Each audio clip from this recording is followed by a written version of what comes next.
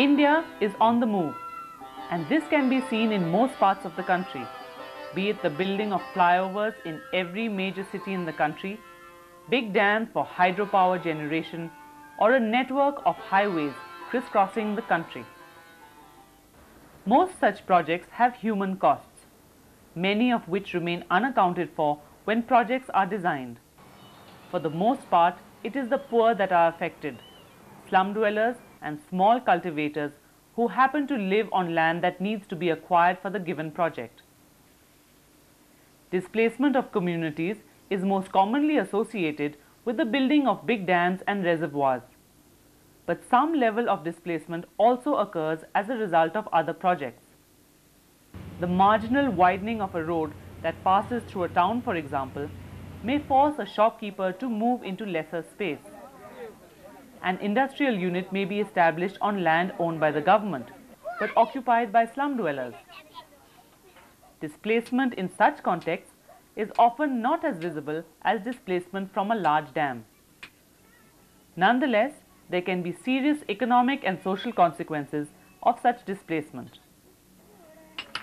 All development projects need to be aware of the possibilities of such displacement and to work with affected people to design compensatory resettlement and rehabilitation packages. Certain basic practices are common to good resettlement packages. First of all, land acquisition needs to be minimized so that the fewest possible people are affected. Second, for a rehabilitation project to have any chance of success, it must have the active participation of the affected community. Third, compensation for assets and for relocation must be fair and timely. And fourth, people's economic livelihoods must be re-established to the extent they are affected by the project. The National Highway Authority of India program exemplifies some of these issues. In line with its focus on improving infrastructure, the Indian government has embarked on an ambitious highway project, the Golden Quadrilateral.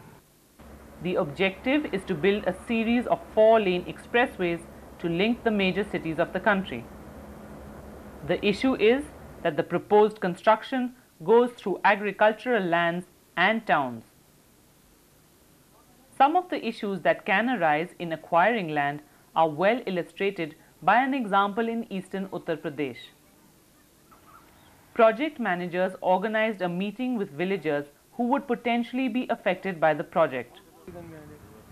One of the outcomes of the meeting was the suggestion that the project engineers consider routing the highway through government owned lands that were on the fringes of the village. These were unused by the villagers and hence would result in minimal disturbance to the villagers. This simple exchange is illustrative of the basic principles by which problems of displacement associated with infrastructure development can be minimized.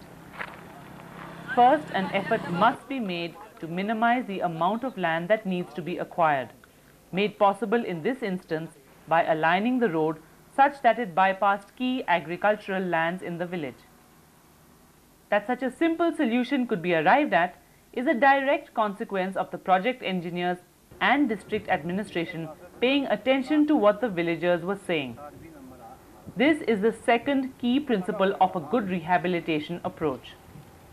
Local people know more about their own area than do project personnel and may not in fact be hostile to the project. By informing people and getting them to share their knowledge of the area, there is a possibility of finding options that are less disruptive than options worked out by an engineer who is not from the area. Taking the interests of these people into consideration can also lead to a better provision of infrastructure services, such as the best place to locate a bus stop or the ideal location of a marketplace. In situations in which the expansion of a road through an urban area is leading to displacement of pavement using hawkers or even to shopkeepers, project managers should think of the establishment of a simple marketplace. While this adds somewhat to the costs of the project, it has huge potential in creating goodwill towards the project. For similar reasons, a bus stop could be conveniently located to enable shoppers and shopkeepers easy access to such a marketplace. Compensation packages must pay market rates. The savings associated with minimizing the numbers of dislocated people can be used to increase compensation levels to a point where they are in line with market prices. In order to ensure that the affected population is comfortable with the compensation process, it is essential that the compensation rates be made public and people participate in the determination of these rates. In addition, a public grievance committee should be constituted such that people have a fora within which they can air their discontent over proposed compensation packages. Such mechanisms merely ensure that debate takes place in the open and once a settlement has been arrived at, it is harder for both villagers and engineers to backtrack on an agreement. Work is likely to proceed with far greater speed in such an open climate. And finally, where necessary, families need to be economically rehabilitated and not just provided financial compensation for the loss of agricultural land or existing housing. One way of doing this is for project authorities to provide assistance to families to set themselves up in small business or relocate them to an existing or new marketplace. Such a measure is of greater value than merely providing financial compensation since it ensures the individual's long-term capacity to earn a living is not undermined. This was dramatically illustrated by the rehabilitation of the Madiwala or washer community in Bangalore. The Madiwalas used to wash clothes in a village tank. This tank was drained in 1952 on grounds that sewage from a nearby town was being emptied into the tank, in the process creating a health hazard. Over the course of many decades, the Madiwalas struggled to find adequate alternative sources of water. By the late 1980s, the municipal corporation sought to take over their area for urban development. In 1990, however, in response to community mobilization, the Slum Clearance Board stepped in to alleviate some of their problems. They built a number of pakka houses for the community and dramatically improved their working conditions, providing them with washing ghats, running water and proper drainage.